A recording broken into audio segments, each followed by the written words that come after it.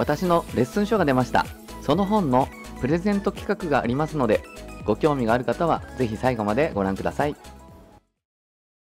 今回はドライバーショットが芯に当たる人とヒールに当たってしまう人の違いについてお話をしていきます。またこすってしまう方や肘が抜けてしまう方もこの内容の可能性が非常に高いですので是非一度この動画をご覧いただいて芯に当たるドライバーショットを手に入れていきましょう。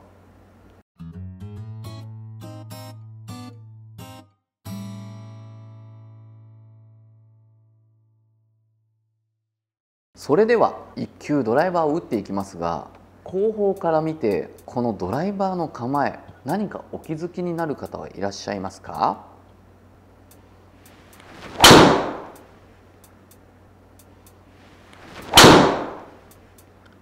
構えと言いましたが何か気づいた方あこれのことでしょって分かった方いらっしゃいますか？ここにポイントがありました。ドライバーの遠寄りで構えていました。ここが結構ポイントになってきます。なぜ遠寄りで構えるのか？ドライバーは打つ時はドライバーヘッドがボールの高さに合わせて浮いてインパクトされます。ですが構えてる時は地面にあります。今ドライバーヘッドがインパクトで当たったら一番いい芯の位置に合わせているのですがここから地面に向かってクラブを落とすとストン遠寄りになったのがわかるかと思います。これを逆にしてみましょう。地面に置いてる時に真ん中で構えます。これを空中にクラブヘッドを浮かしていくとヒールに来てしまったのがわかるかと思います。これこのまま上に上げて芯に合わそうとすると若干私の左肘を上手に引いて調整してるのが分かりますか？というようにドライバーのアドレス時に遠寄りにボールを置いてクラブヘッドを地面に置いて打つ時は浮かして打つっていうふうにやれると芯に当たりやすいのですが地面に置いてる時からボールに合わせて置いてしまうとインパクトの瞬間クラブヘッドは浮いてきてヒールに当たる。それを嫌がって肘を引いたりすることで肘が引けたりボールをこすって打ってみたり時にはすごく引っ掛けたりこういったミスが起こるんです。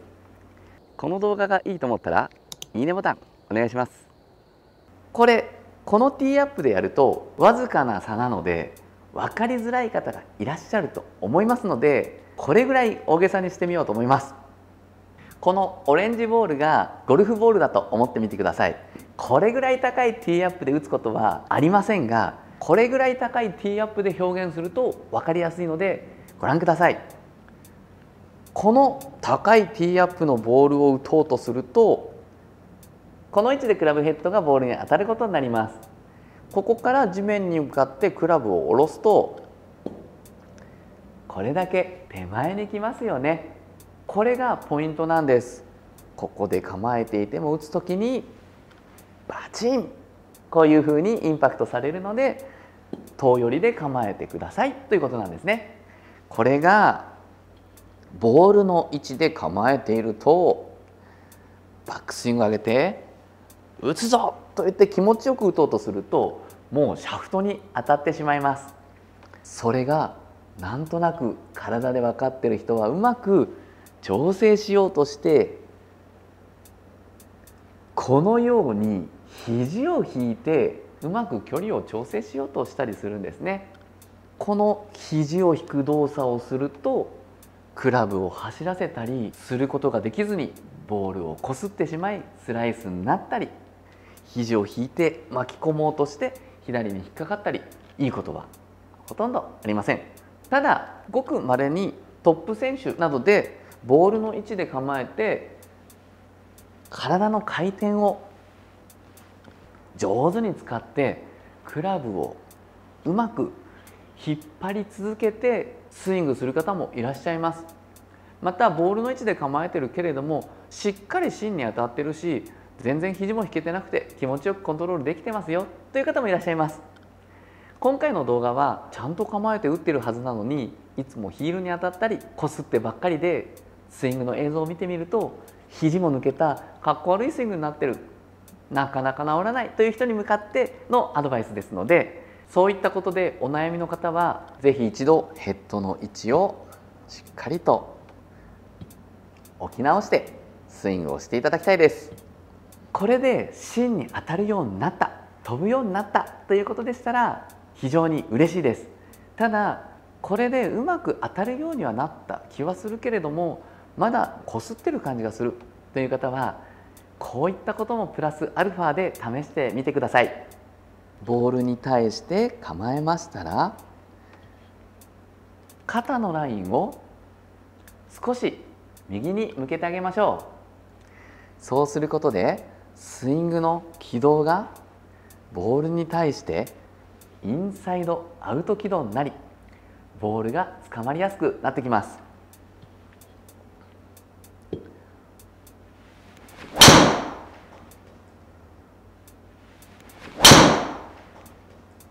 このようにしますとボールは少し右に飛び出してからドローボールもしくはまっすぐ飛び出してから左に曲がるドローボールこういった感じでボールが捕まってきます。